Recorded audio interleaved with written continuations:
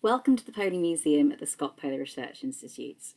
When you visit our museum, or any museum, what you'll see is a collection of objects on display, which tell you the stories of history, culture, science, human stories of triumph and survival.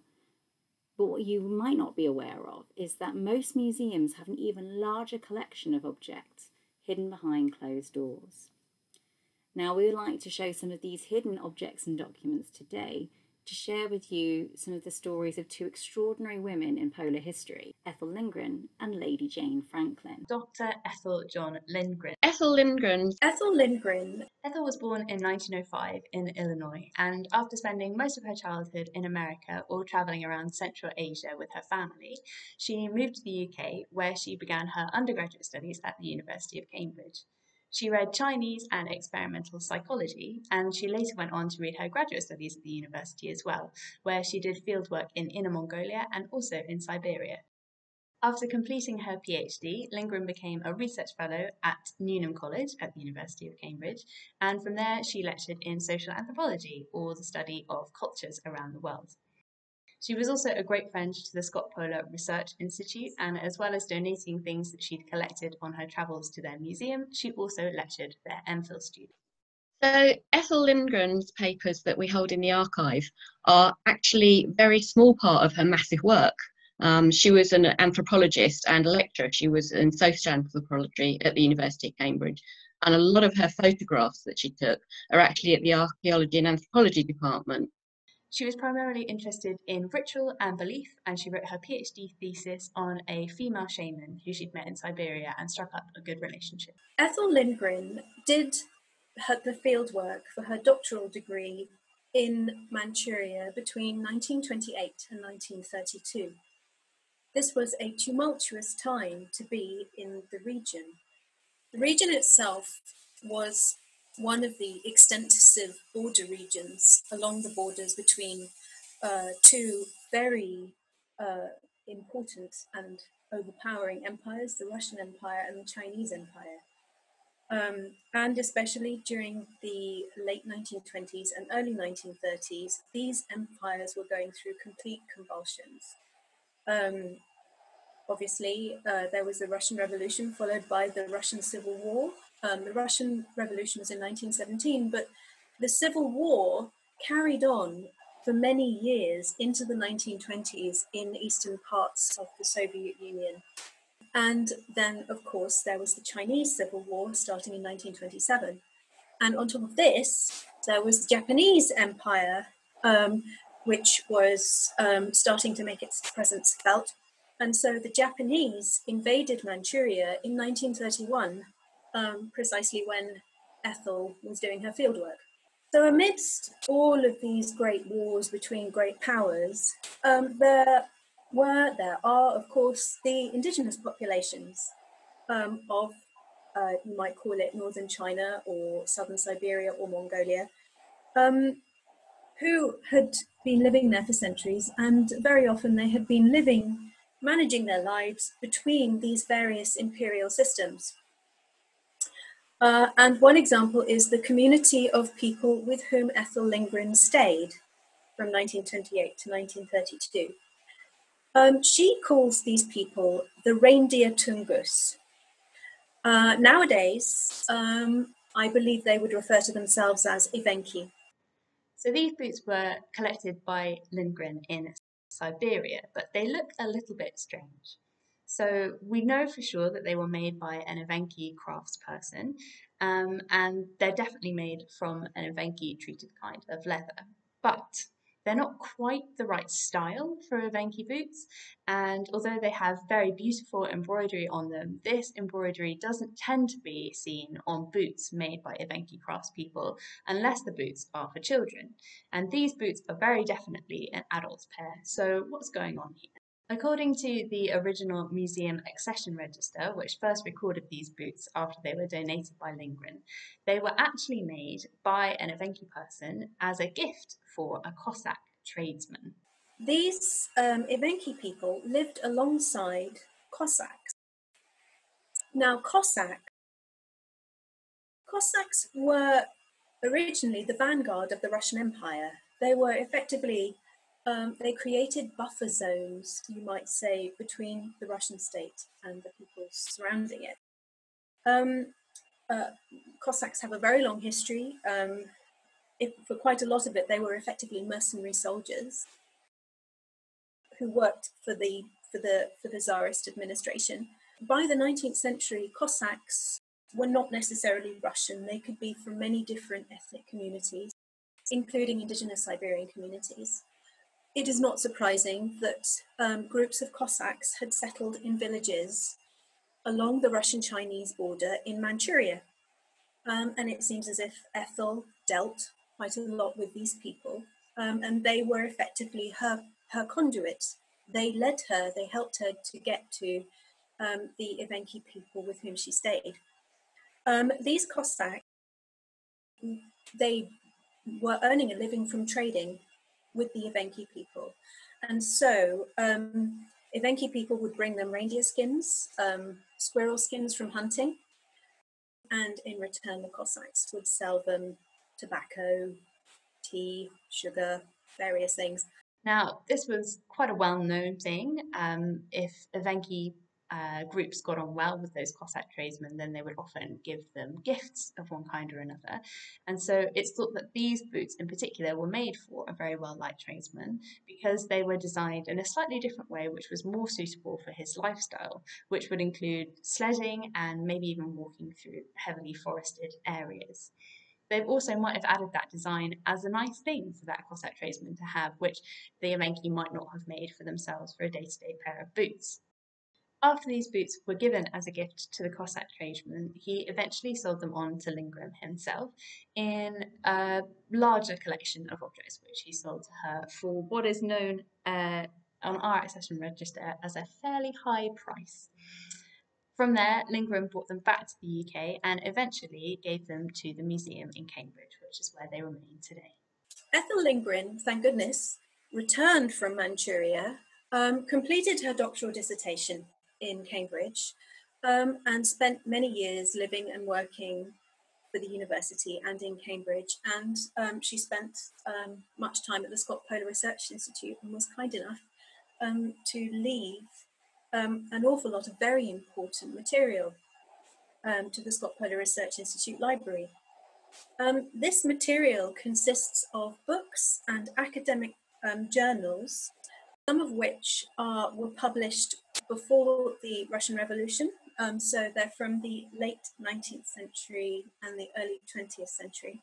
The early Soviet period, the 1920s and the 1930s, um, was a time of great, great chaos, you might say, to some extent. Um, uh, people were struggling to cope with the consequences of the Civil War. Um, people who uh, believed in the communist projects were were were desperate or very very excited um, about well first of all building the communist society in the former Tsarist empire and second of all um, about simply staying in power. And the early Soviet government knew that it needed the territories of the former Russian empire very badly it knew that it needed uh, the natural resources um, and quite simply the, the people power. It needed the people who were living on these territories. Um, and so, even though, um, uh, according to Marxist Leninism, the, um, the Soviet project um, intended to liberate non Russian peoples who had been colonized by the Tsarist Empire. What this liberation actually entailed was um, sort of co opting them into the communist project by converting them uh, into, into communist atheists. Uh, we're talking about a very, very varied population here. I mean, along with um, reindeer herding peoples like the Evenki, whose um, way of life and spiritual practice um, you might call shamanic um, in the sense that um, uh, they had um, specialists called shamans who um, conducted healing rituals. Um, there were also Buddhists, there were is there were Muslims, of course Christians, And um, the Soviet government wanted to recreate all of these people into a completely atheist communist society. The Soviet population became a population with, um, by the 1950s, which was which universally had had a level, at least a basic level of schooling, um, and many non-Russian peoples um, uh, were um, now attending university. Um, they were they were they were in collective Soviet collective farms. Some of them were moving to the cities, um, becoming academics and political leaders in their own right. It was a complete transformation. Um, and of course, it's a it's a very controversial subject. Um, some people feel deeply grateful to the Soviet system. They feel they feel that they have been brought out of a very ignorant, very poor way of living. Um, but at the same time, it's true that an awful lot of diversity, a lot of language, a lot of tradition, a lot of cultural practice, a lot of different perspectives on the world were lost. Really, this is the huge value that um, the material that Ethel Lindgren left us has, um, because thanks to these documents from before the revolution, from the 1920s and 30s, when the Great Transformation was just happening, we can see, first of all, how this transformation came about, the complexity of it, um, but also we can learn an awful lot about the lives and beliefs and habits of the people who were living in the Soviet Union at the time. And so um, this material is a great resource for contemporary non-Russian, contemporary indigenous Siberian communities, um, perhaps people like the Evenki who now live in northern China um, and have contact with Evenki living in Russia.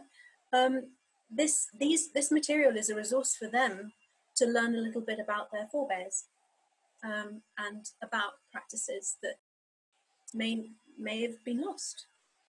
In 1947, Ethel Lindgren married her second husband, called Michael Utsi, who was a Sami man that she'd met in northern Sweden while she was undertaking fieldwork there.